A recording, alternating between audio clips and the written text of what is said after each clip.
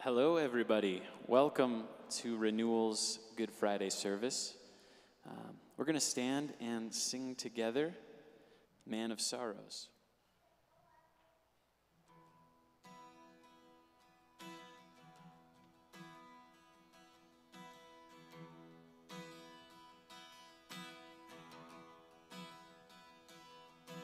Man of sorrows,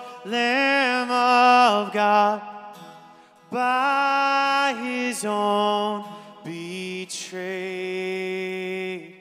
the sin of man and wrath of God has been on Jesus laid.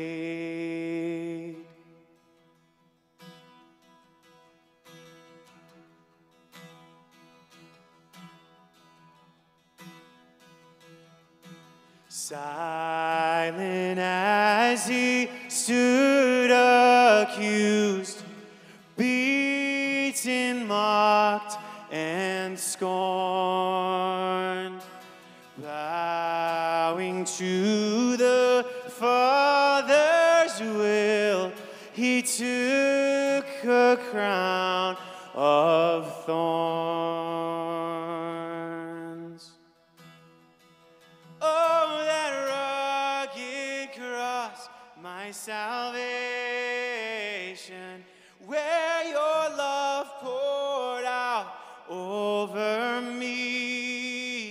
Now my soul cries out, Hallelujah,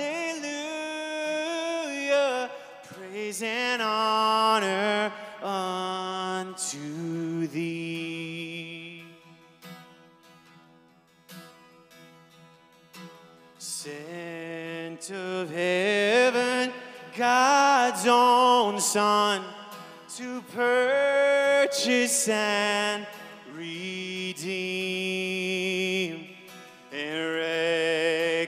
reconcile the very ones who nailed him to that tree. Oh, that rugged cross, my salvation, where your love poured out over me. Now my soul cries out, Hallelujah, praise and honor unto thee.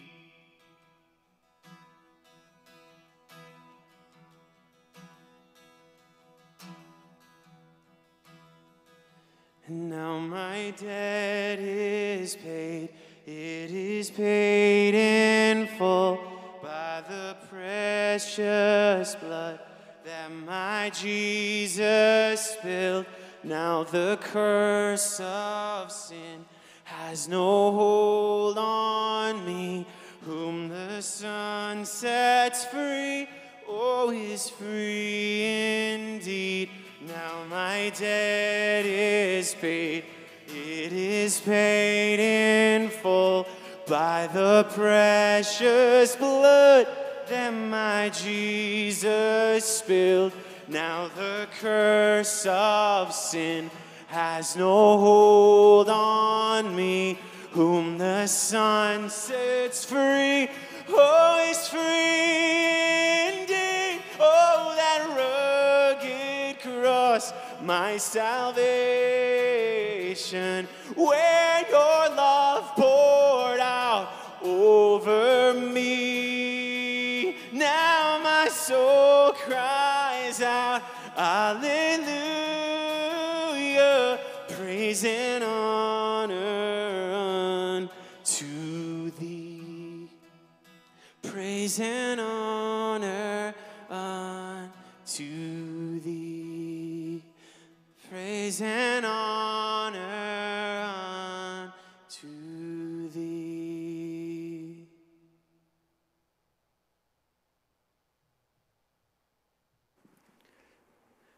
good evening. Praise and honor indeed to our God as we come in this very special night, as we um, celebrate this holy weekend, as we look forward to Easter on Sunday. We take time tonight to solemnly reflect on the great price that was paid for us. Take time to reflect and to meditate on the great sacrifice that our God would make on our behalf. I just want to welcome you if you're visiting, if you're a guest um, here at Renewal Church. We are so happy you are here. It is our joy and our pleasure to get to celebrate this special night and this special, special season with you um, as we look at, at what God has done. And so I just want to thank you for coming. Um, we're glad that you're here and hope that you are blessed by our worship tonight. And anytime we gather as a body, we always do it in the name of our God. And so we're going to begin worship in the name of the Father and of the Son and of the Holy Spirit. Amen.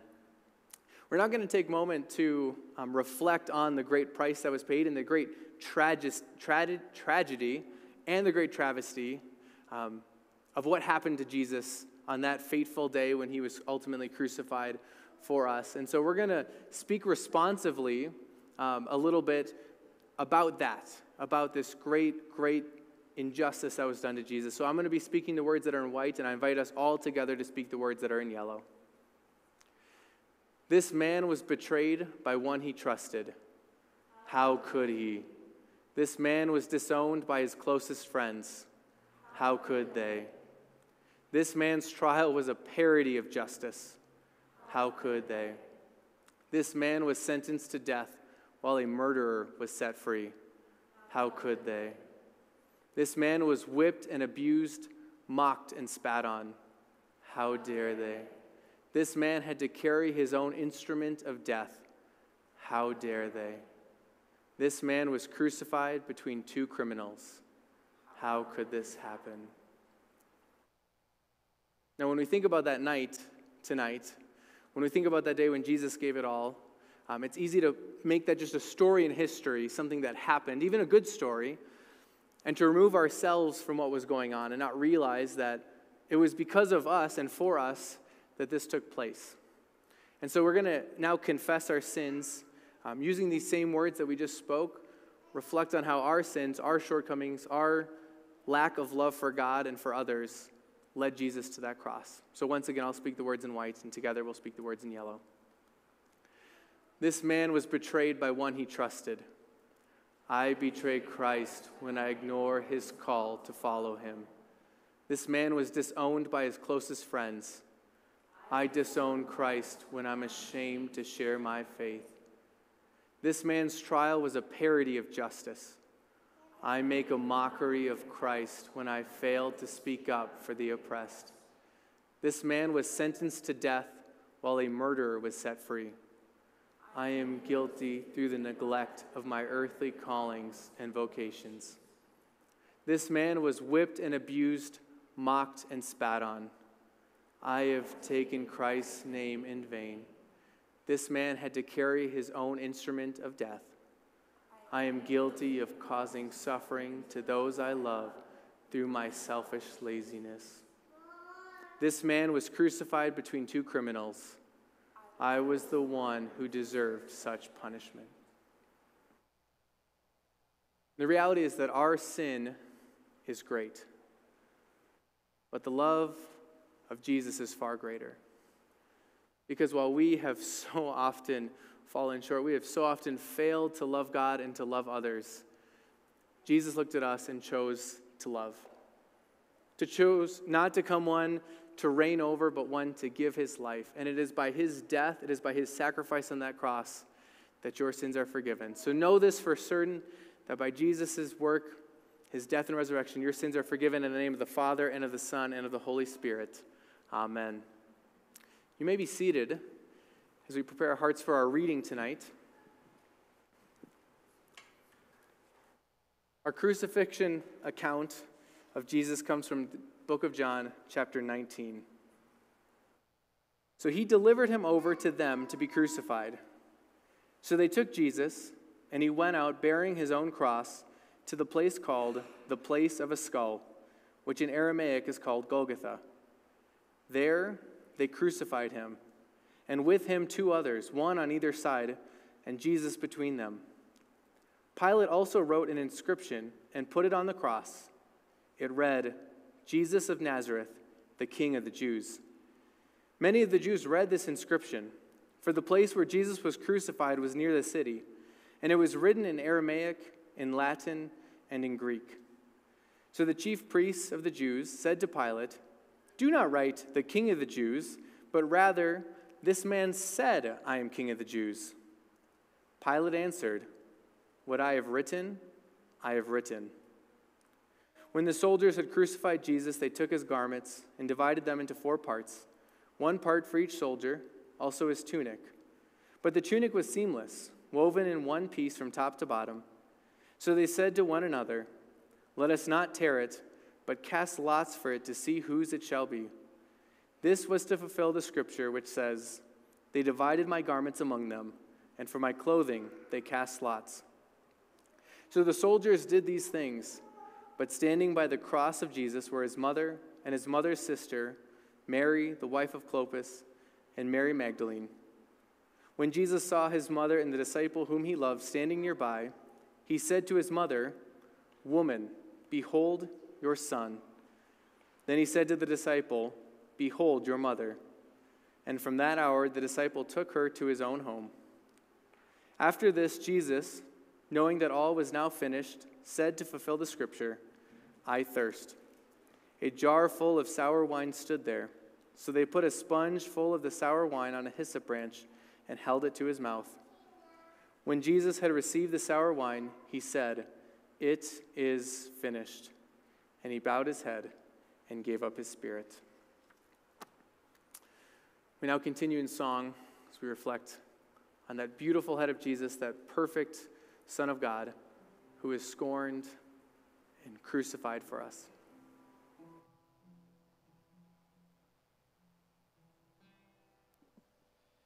O sacred head now with grief and shame weighed down, now scornfully surrounded with thorns thine only crown.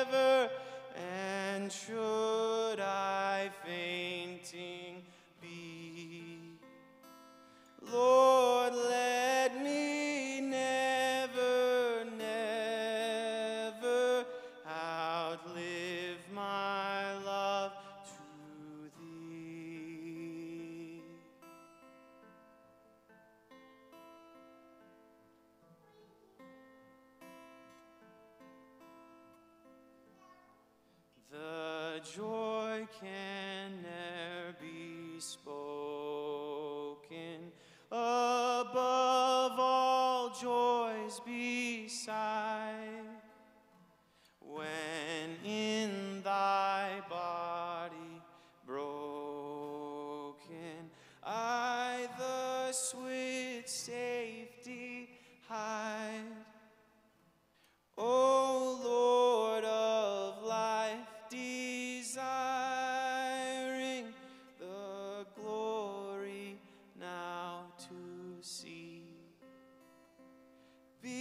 Beside thy cross expiring,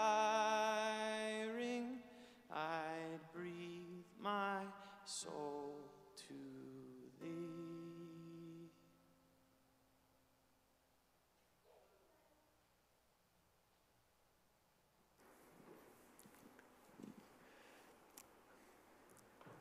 I think growing up, I always thought Good Friday was a little weird.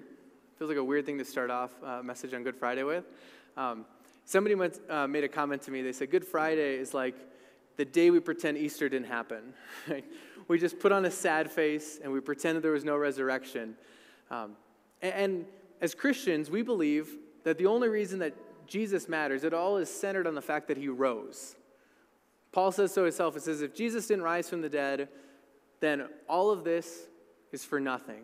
And for those of us who, who profess Jesus, who, who say that you can have life in him, we are of all people most to be pitied. And so the question is why do we celebrate Good Friday? if our hope, if our life is based on the resurrection, why does this night matter? Why do we take time to put on the sad face and look at the cross and remember? Now, I think that part of the reason is that because as people, as humans, we are very bad at dealing with and looking at and sitting with the consequences of our actions. I, I, can't tell you how many times I apologize to somebody, and the, the answer I want to hear is like, oh, no, it really didn't make a difference, right? It's fine. I don't want people to say, you know what, actually, that was really hard. I, I, I can acknowledge sometimes, like, yeah, I screwed up, I messed up, but I, I, in the back of my head, I'm hoping it really didn't matter, right? It was a minor thing. Right? And so sometimes we need to be forced to reconcile with, forced to look at those things that we've done and, and the actual costs and the consequences of it. Um, when I was growing up, my first dog I remember was a little pug named Maggie. It's this little black pug, cutest little face. Now, Maggie had a really bad habit of not going to the bathroom outside. And so I remember um, one day when Maggie decided to go number two um, in a bedroom, and then, you know, goes about its day. She's just running around the house fine. And so we end up finding this. And I remember my dad dragging this, this dog and shoving its face like inches from this and saying, You did this. you made this happen, right? He wanted to, to connect the dots. This issue was caused by you. And as people, we, we so often, we just kind of want to, we just kind of want to move on, right? It's really easy to say, hey, I screwed up, my bad, um, I sinned, or, or whatever. But then we kind of want to move on. We don't want to actually look at how this hurt people, how this affected people, what had to be done about it. Sometimes we want to look for quick remedies. We want to just try to move past, um, especially if we can make it up to somebody. Um, I remember my, my brothers and I would always, you know, horse around and stuff. And I remember one time my brother Nick and I, we were playing, and I accidentally, I forgot what we were fighting over, but I accidentally hit him. And he started crying, and immediately I realized, oh no, he's going to tell my parents. And so I told him, no, you can hit me back. Here, hit me, and then we're fair, and then we don't have to tell anybody. Like, just get it over with, then we'll be, we'll be even. And so we're really good at, at just moving past, right? And so I think part of the reason that we spend time on Good Friday reflecting is to realize that that new life, that, that hope that we have in Jesus, that it came at a cost. That while we can celebrate the joys of the resurrection, we can celebrate the joy of new life, we can celebrate the promises that death no longer claims us, it's important that we don't take for granted what had to happen to get us here. And we read that, that account in, in the Gospel of John, and you think about Jesus, who comes to this earth, and he comes to show people love. His whole mission, he, he comes and he, he's going around and he's proclaiming good news and he's welcoming people who were far off, people who had no hope. And he's healing people who were, who were crippled, people who were blind, people who had all sorts of issues. And he's, he's doing all of these things, and, and he rides into Jerusalem, and people are, are hoping that this is the guy. And it's that Jesus you jump forward, and then we read about. The same Jesus who, who rode into Jerusalem with praises of Hosanna, blessed is he who comes in the name of the Lord, the same one who, who gets on trial and is mocked, ridiculed. He saved others. Why can't he save himself? And, and they, they pierced his head with thorns. Just every bit of humiliation, every bit of pain was put upon this man who came only to bring love and hope and perfection. So, when we look at the cross, when we reflect on Good Friday about what this is, it's a call not only to look at Jesus, but also to look at us. Because, like I said earlier, it's easy to just take this story as one that just happened in the past. And a good story, right? Great, Jesus died, it was a good thing for us, awesome. But to forget about that, it was for us that he had to die for. I found this uh, painting. This was, well, it's actually a picture drawing. This is from a guy named Frank Koci in 1974 called Crucifixion. So it was donated to the Smithsonian of American Art Museum. Here it is. It's very abstract. It's with pen, felt, charcoal. You can see there a bloody Jesus. His face is marred. It looks kind of skull like. You can see his rib cage. He's strung out, and you can see blood around his chest, around his hands and his feet. But what struck me about this picture is this might be one of the only pictures of the crucifixion that I've seen where not only do you see Jesus on a cross, but you see Jesus with the people he died for. You can't see Jesus on that cross without looking at the crowd. At the bottom, you have the Pharisees, those religious leaders who hated him, despised him. You have the mobs, the crowds, like I said, who, who at one point when Jesus rides in, there's crowds yelling his praises, hooray, and then on Good Friday yelled, Crucify him, crucify him. And it's this Jesus who ultimately went to that cross, who ultimately sacrificed himself for those people and for us. And it's sometimes really uncomfortable when we are completely honest with how sinful we are. Like I said, it's so easy to move past. Uh, many of you might have seen a few years ago, there was the big case of Larry Nassar. He was the U.S. and Michigan State gymnastics trainer who did some unspeakable things to gymnasts. What I found fascinating amongst all of the tragedy is that um, at the end of his trial, before he was ultimately put in jail, all of the victims had a chance to speak and to share the damage and the hurt that he had caused them. And he asked the judge if he could step out of the room and leave. And you think about it, this man had already done all of these things, and yet he couldn't bear to hear back to himself how bad it was. I want nothing more than just to move past. I don't want to hear how sinful and broken I am. And, and we had that confession earlier. You think about if we're really honest, how often we have failed to love God. How often we have just chased our own passions. How often we've seen people in need around us and chosen, you know what, this is more comfortable for me, so I'm just going to stay in my box. The reality is that we are all far more sinful than we could ever really comprehend. And if we weren't, then it wouldn't have taken that. And there's something extremely difficult about having somebody else pay for what you've done wrong. If you were ever on a sports team and if somebody messed up, they made the whole team run laps, right? You hated it because, again, you, can I reconcile? Can I make it right? And the reality is that as human beings, we are so far from God. We, we have sinned so much to our core in our fallen human nature. Without Jesus, we would choose our own sins, our own passions every single time. That there is no possible way that we could make it right on our own. And so, Jesus, the Holy Son of God, had to come in human flesh, and he had to give it all. And so we look at this not brushing past the consequences, that it, this perfect Blessed man who came only pronouncing forgiveness, only pronouncing love, only pronouncing hope and a future. This is the Jesus that for us had to die. And every one of those sins, everything that we had ever done wrong and everything that we will do wrong, led him to that cross. But we rejoice that in doing so, because he was obedient, because he was perfect where we weren't, because he was just where we were unjust, because he was loving where we were unloving, our sins stayed there with him. And they were buried in his tomb and left for good. Because when he rose, they didn't come with him, they stayed buried in the ground.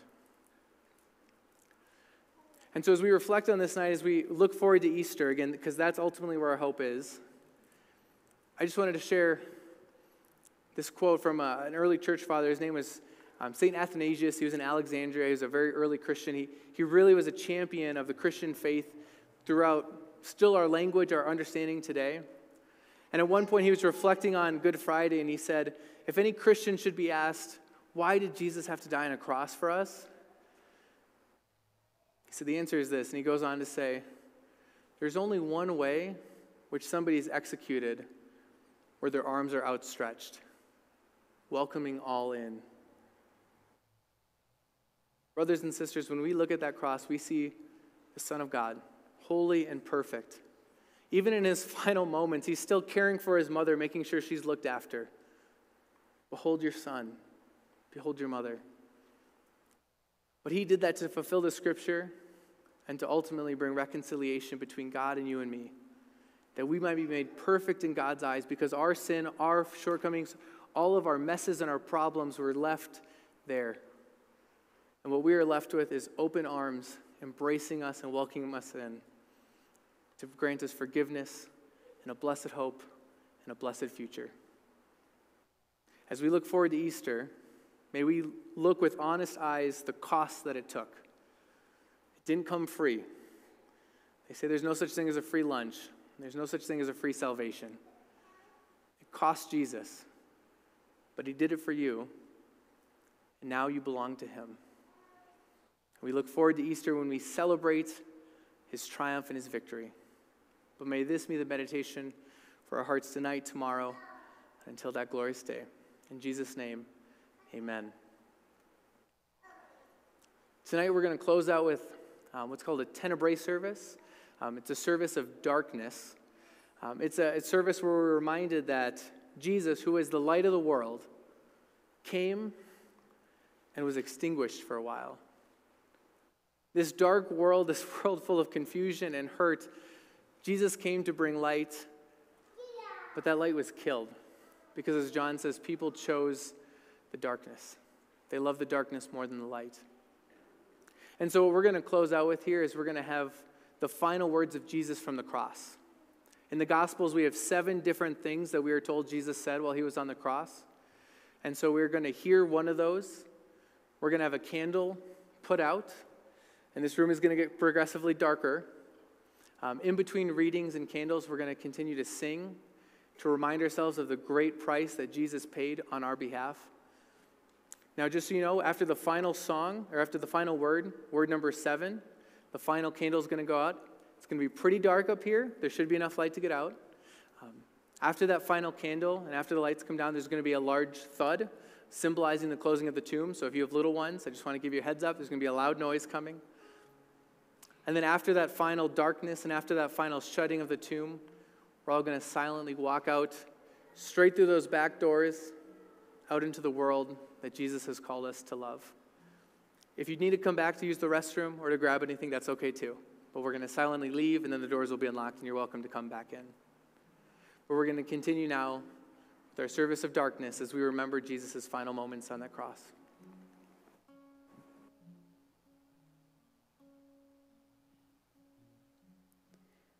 Two others, who were criminals, were led away to be put to death with him. And when they came to the place that is called the skull, there they crucified him, and the criminals, one on his right and one on his left. And Jesus said, Father, forgive them, for they know not what they do. I hear the Savior say, Thy strength indeed is small. Child of weakness, watch and pray. Find in me thine all in all. One of the criminal, crim, criminals who were hanged railed at him, saying, Are you not the Christ? Save yourself and us. But the other rebuked him, saying, Do not fear God, since you are under the same sentence of condemnation. And we indeed justly, for we are receiving the due reward of our deeds. But this man has done nothing wrong. And he said, Jesus, remember me when you come into your kingdom. And he said to him, Truly, I say to you, today you will be with me in paradise.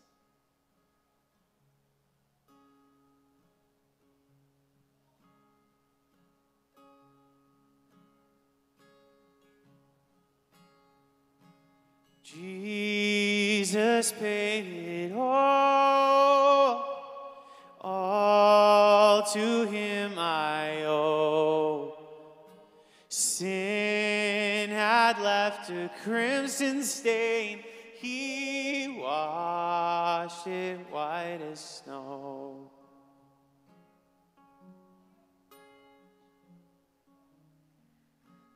So the soldiers did these things, but standing by the cross of Jesus were his mother and his mother's sister, Mary, the wife of Clopas, and Mary Magdalene. When Jesus saw his mother and the disciple whom he loved standing nearby, he said to his mother, Woman, behold your son. Then he said to the disciple, Behold your mother.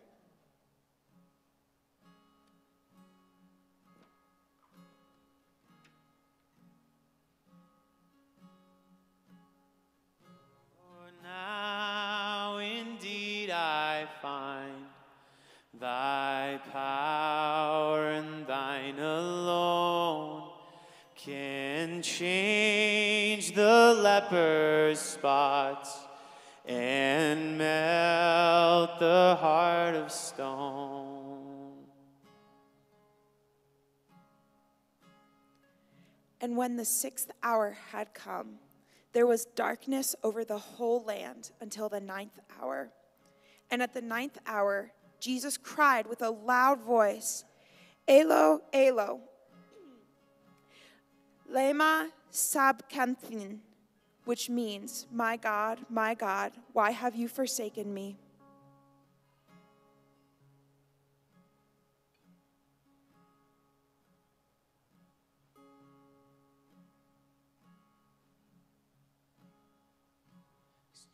Jesus paid it all, all to him I owe. Sin had left a crimson stain, he washed it white as snow.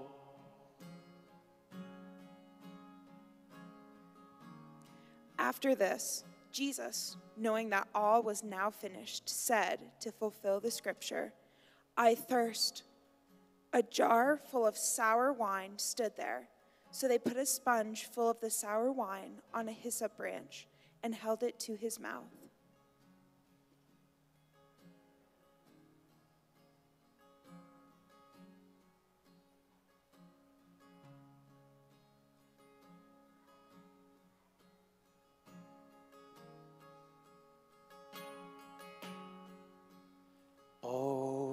Praise the one who paid my debt and raised this life up from the dead.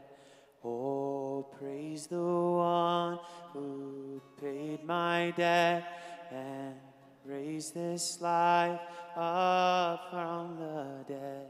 Oh, praise the one who paid my debt and raised this life up from the dead. Oh, praise the one who paid my debt and raised this life up from the dead.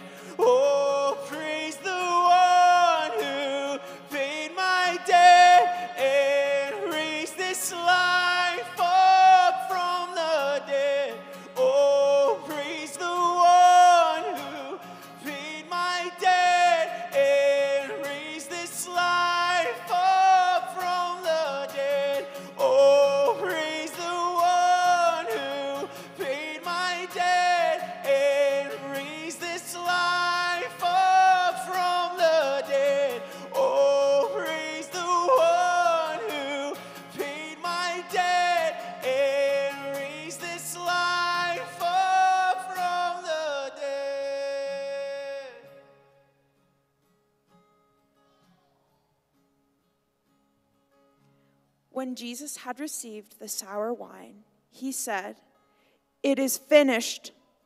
And he bowed his head and gave up his spirit.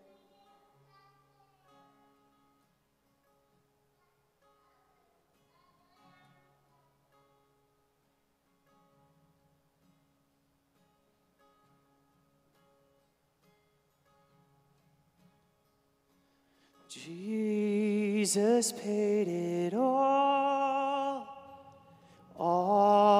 To him I owe. Sin had left a crimson stain. He washed it white as snow. He washed it white as snow. He washed it white as snow.